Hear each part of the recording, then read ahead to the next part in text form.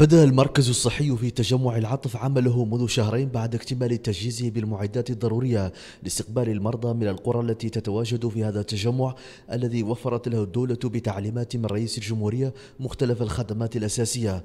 ويستقبل هذا المركز يوميا عديد المرضى الذين يخضعون للمعاينات والاستشارات وتقديم العلاجات القاعدية لتقريب الخدمة من المواطنين. طب ما شاء الله زين زين تبارك الله حقيقته هي تبارك الله جانا الطفل هو.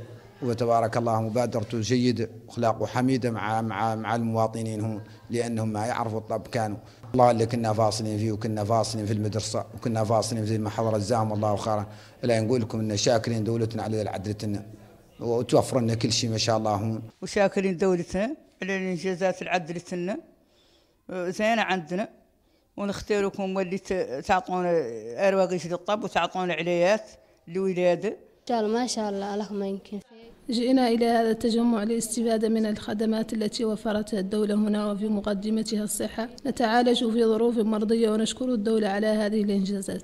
وتتوفر هذه المنشأة الصحية الجديدة على عدة أجنحة للمعاينة والحجز والولادة والصيدلية تعمل بنظام الميسر لتوفير العلاج بأسعار مدعومة.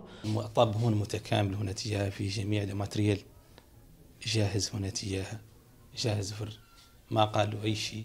حتى الصيدلية فيها الدول متكامل كاملين ما قال فيها أي شيء. مستوى الإقبال عادي مع أن مازال افتتاح مازال بداية وإذا كان إن شاء الله يقدر يتحسن راجل إن شاء الله يتحسن المستقبل. مع أن الناس اللي يمكن من هالشيء كان تقريبا هي في هذه حياة الانتجاع مواصلين كانوا البدو كانوا رحل وطبعا بدوا بعدين فتحوا للمجي إن شاء الله وأركات جاي بعد شيء منهم.